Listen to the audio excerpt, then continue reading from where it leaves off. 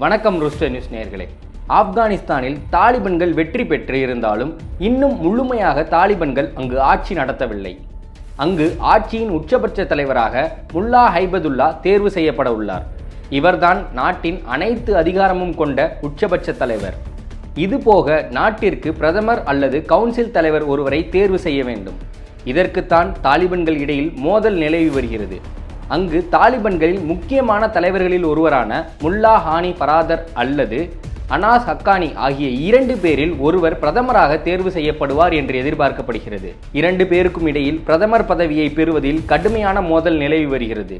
இதில் பாகிஸ்தானின் ஈடுபாடு அதிகம் உள்ளது பாகிஸ்தான் தான் தாலிபன்களின் உருவாக்கத்தில் முக்கிய பங்கு வைத்தது தற்போது ஆப்கானிஸ்தானில் இருக்கும் பெரும்பாலான தாலிபன்கள் அதன் தலைவர்கள் எல்லோருமே பாகிஸ்தானை சார்ந்தவர்கள்தான். தற்பொழுது தாலிபன்களை வைத்து பாகிஸ்தான் ஆப்கானிஸ்தானில் நிழல் ஆட்சி நடத்தும் முயற்சியில் ஈடுபட்டு உள்ளதாகவும் சந்தேகிக்கப்படுகிறது.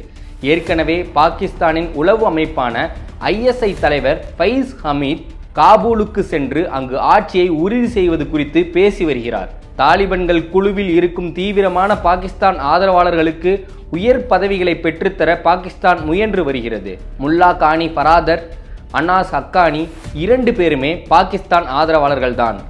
ஆனாலும் ஹக்கானி தீவிரமான பாகிஸ்தான் அனுதாபி என்பதால் அவரை பிரதமராக்க பாகிஸ்தான் விரும்புகிறது. இதை பராதர் குழு விரும்பவில்லை என்பதால் தான் அங்கு பிரதமரை தேர்வு செய்வதில் குழப்பம் ஏற்பட்டுள்ளது. இதனால் தாலிபன்களுக்கு உள்ளேயே கடுமையான மோதல்கள் ஏற்பட்டுள்ளது.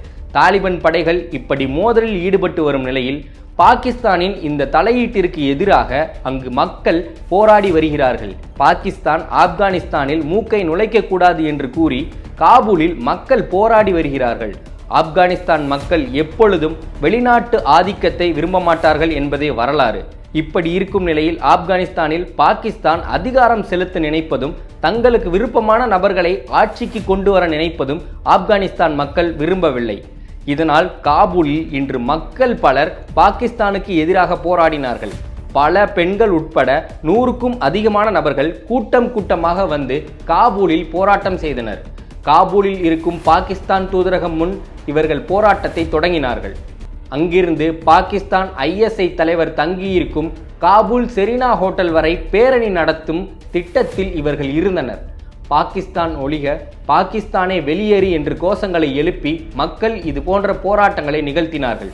காபூலில் குவிக்கப்பட்டிருக்கும் தாலிபான்கள் படைகள் போராட்டக்காரர்கள் மீது கடுமையான தாக்குதல் நடத்தினார்கள். இந்த நிலையில் வானத்தை நோக்கியும் போராட்டக்காரர்களை நோக்கியும் தாலிபன்கள் சரமாரியாக துப்பாக்கி சூடு நடத்தியது. இதில் யாருக்கும் காயம் ஏற்பட்டதா யாராவது பலியானார்களா என்பது குறித்த தகவல் வெளியாகவில்லை.